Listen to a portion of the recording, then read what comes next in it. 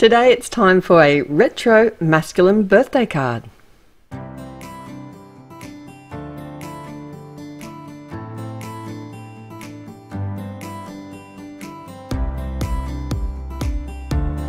Hello, welcome back. I'm here with Ellen Hutson today, and we're all celebrating the new Waffle Flower Crafts release for February March 2020. And I've got this awesome die, it's a rainbow birthday die. And what a great way to use your scraps. So that's what I did. I went into my scraps and I chose some fun sort of retro colours because this die just screams retro to me. And I really, really needed to work on some masculine cards for my stash. And this was the perfect opportunity. Really simple, quick, came together, and you can make it, you end up with so many extra bits. Because as you pass it through the die cutting machine, it cuts out all the pieces of the rainbow and also the sentiment. So it's as simple as jigsaw puzzling them back together. So I did run the rainbow portion, one with all the layers through my Gemini. And I did use my metal shim because it is quite a big sandwich. And look at these great colours together. The die also comes with another set of dies, like a solid die as like a solid base die, and another within layer, like a wider layer. So you can actually mix and match it up and get so many different looks. You can cut a window and make a shaker. You can have less layers. You can have more layers. It is really versatile. You can just use the happy birthday sentiment on its own. You don't actually need to use it in the rainbow, but doesn't it look amazing? So I used the base colour. When I did that, I chose the same colour as what was going to be on the outside of my rainbow.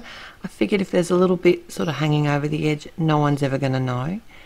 And I added adhesive all over the front. You can either use a liquid glue, which is probably going to be a little bit more forgiving.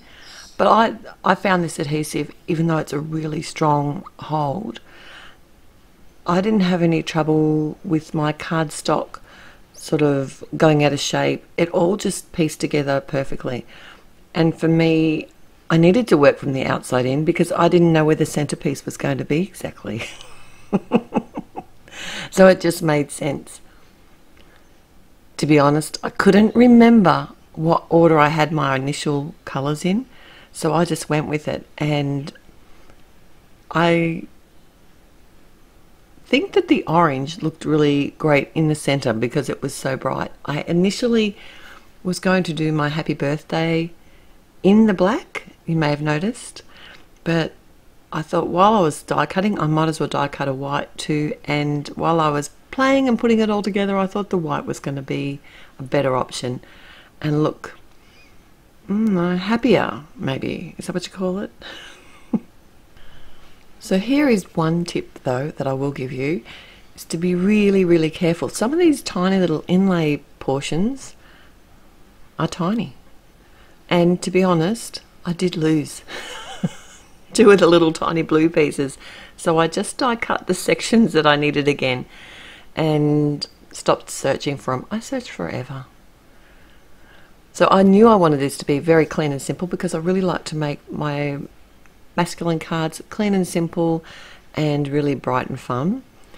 In general terms, that's how I like to make them. So I thought I'd add a couple of balloons. This is also a Waffle Flower Crafts set. It's an older set called Limo Ride and a really fun one. And I stamped it with some Memento Tuxedo Black and did some really simple colouring with my Copic markers. And I chose colours that I'd use within the die cuts and kept that retro theme. So this is one of the medium sized dies, but what I'm using it here for is actually to support my die cut. It's a fairly solid die cut, but I did want to make it pop it up on the front of my card and don't want it to bend in the post because I know I'm going to be posting this card.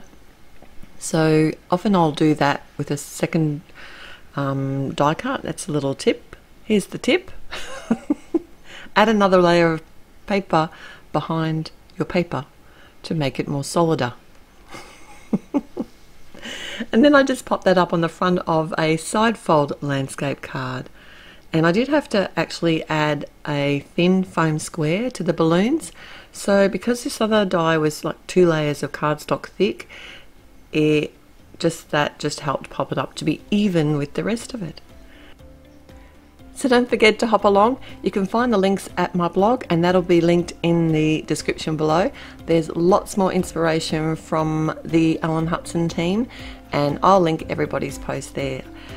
If you like this video, please click on the thumbs up button to let me know that you did. And if you haven't already, I'd love it if you'd subscribe to my channel and I'll see you back here again real soon.